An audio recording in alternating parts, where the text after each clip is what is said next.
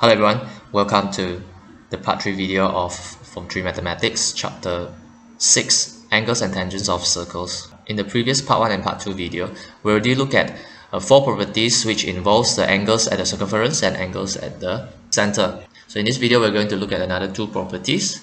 Now I have a circle here with the center of the circle, and I form an angle at the center subtended by this arc and if I measure the arc length, let's say I get 5 centimeter, and when I measure the angles at the center, I get 40 degrees. Now, if I form another angles at the center, with the arc length the same as this, 5, what do you think will be the values of the angles at the center? When we measure this, we found that this 40 degrees as well. They have the same value. And what if I form another angles at the center with the arc length here which is also 5 centimeter and when I measure this angle I get it is 40 degrees as well. What conclusion can we get from here? So the conclusion is the size of angles are equal if their arc lengths are equal.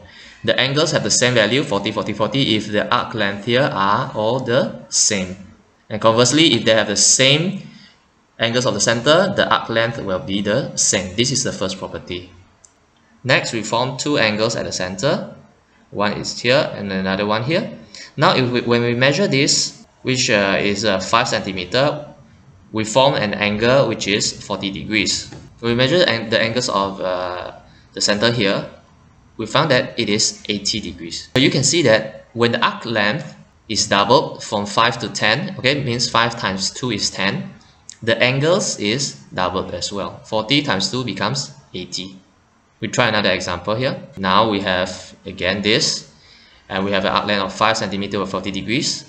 And if now we form another angles subtended by this arc which is 15 centimeters. When we measure the angles here, we found that it is 120. So you can see that the arc length here, 15 centimeter, is 3 times 5 centimeter. 5 times 3 will be 15.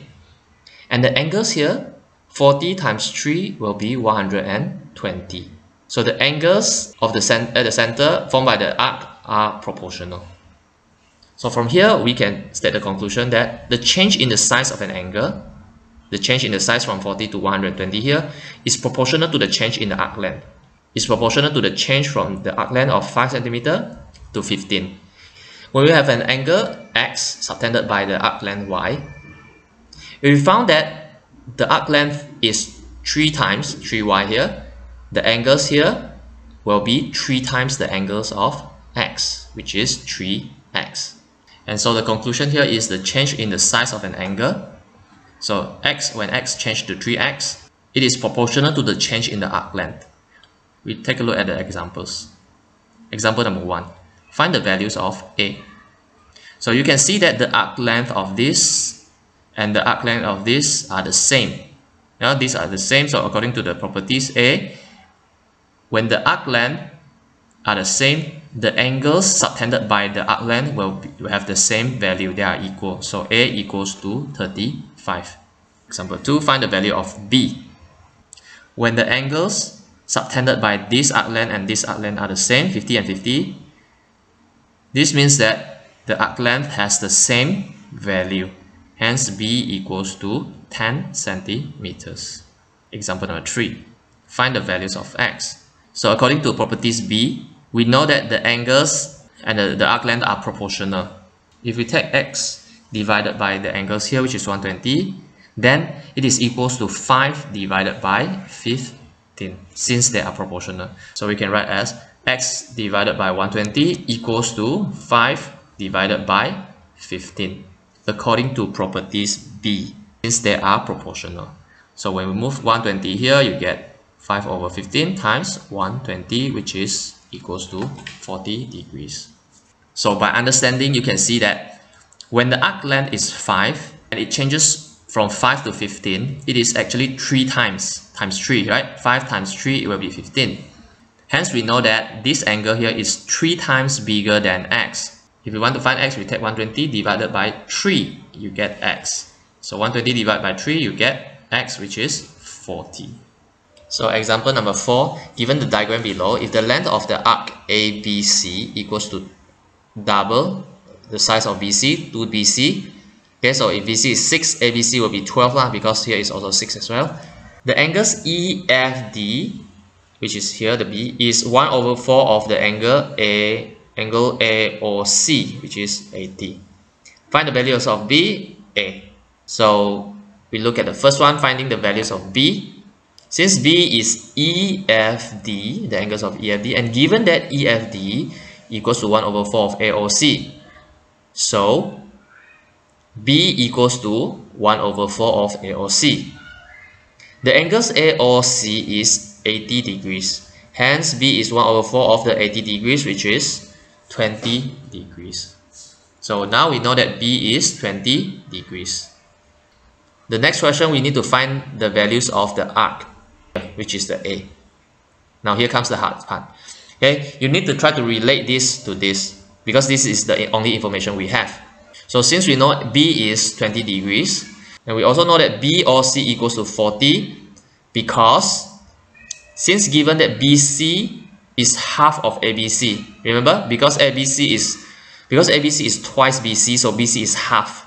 According to the principle, uh, according to the properties we've learned just now, if the length here is half of ABC, the angles here is also half of 80 half of 80 is 40 so BOC is 40 because BOC is half of the 80 then if you can relate here these angles here and these angles here this is the angles at the center this is the angles at the circumference when B is 20 and BOC is 40 B is half 20 degrees is half of 40 right so when this is half of this according to the the properties we learned in the previous video when this arc length is the same as this, B will be half of 40.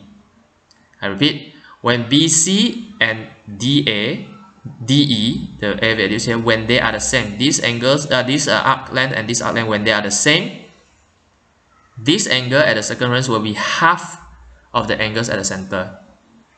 And right now, B is half of the center. B is half of the angles at the center. It's, this means that A is equals to 6. A is equals to BC, which is equals to 6 centimeters. Now for the next property, look at the circles again, and this time you have a diameter. And from these two points of the diameter, we form a triangle. So this angle here is subtended by the two ends of a diameter. Okay, so this angles here is uh, is subtended by this arc. So since this is the diameter, this is the arc of a half of the circle. Okay, so when we measure this, we will find that it is 90 degrees. So The same applies when I form another angles using another point, any point around here. I form another angle. Okay, so it will always be 90 degrees. So the conclusion we can get is the angle at the circumference of a circle subtended by the diameter. Okay, the, this is the angle at the circumference of a circle, and it is subtended here, subtended by this arc and also this diameter. Uh, it is subtended by this diameter here, and it is always 90 degrees.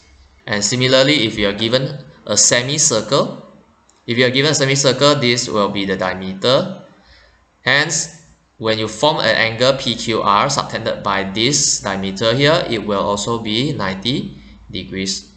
If given a semicircle, PQR, then the angle PQR is 90 degrees. Example number one, find the values of x. So we have x here. You can see that this is a semicircle with a center O, and there are two lines here which, which forms the angles of 2x, which is subtended by this diameter. So we know that this angle x plus x here is 90 degrees. Hence, the angles of PQR is equals to 2x and it is also equals to 90 degrees. So 2x equals to 90 degrees, x equals to 90 divided by 2, which is 45. Example 2. Find the values of A and B given PR and QS are diameters. Okay, now PR is here, this is diameter, QS is here. If I look at these angles here, A plus A, the two A's here, you can find that this is the, the total angle here is the angle formed at the circumference of circle subtended by this diameter here. Okay, you can see the line here. So 2a plus a here is subtended by the diameter PR, which across the center. That's why it's a diameter. So when this happens, a plus a is 90 degrees. So, so PQR 90 degrees, 2a 90 degrees, a equals to 45. Now we look at B. We want to find B. You can see that B is actually one of the angles in this yellow triangle. So since we already know that A is 45, we want to find B. If we know the values of this angle, then we can find B. And actually you can see that this angle here is another angle subtended subtended by the diameter QOS. Hence, we know that this is 90 degrees because it is an angle subtended by this diameter. So here is 90 degrees. So if you take the total 180 minus 45 minus 90 degrees, we can get B. So we get B is 180 minus 45 minus 90, which is 45 as well. Example 3 diagram shows a semicircle with a center O. Determine the value of A and B. Okay, again, if semicircle, this angle here, okay, if we look at this, the triangle which is formed by this uh, yellow line, this angle here are angles subtended by this and this sub subtended by this diameter. This angle here is the angle subtended by this diameter. Hence, we know that this is 90 degrees. So if you want to find A, since this is a triangle, 180 minus 90 minus 30, you can get A. Because 180 is the total interior angles. So A equals to 180 minus 30 minus 90, A equals to 60 degrees. Now, if you want to find B, the first thing you need to notice here is you look at this line from O to P. This is what we call as a radius. From O to Q, this is also a radius. So OP and OQ have the same value. When they have the same value, this triangle POQ is uh, an isosceles triangle. Is an isosceles triangle because this and this they are they have the same value. And since this is an isosceles triangle, the base the base angle 30 here and here will be the same. So you have this. Okay. So from there, I think you know how to find B. 180 minus 30 minus 30, you get B. 180, 180 minus 60, you get 120 degrees. So in the coming video, we will combine all the properties we've learned so far and try to use it to solve problems. That's all. I'll see you in the next video. Thank you.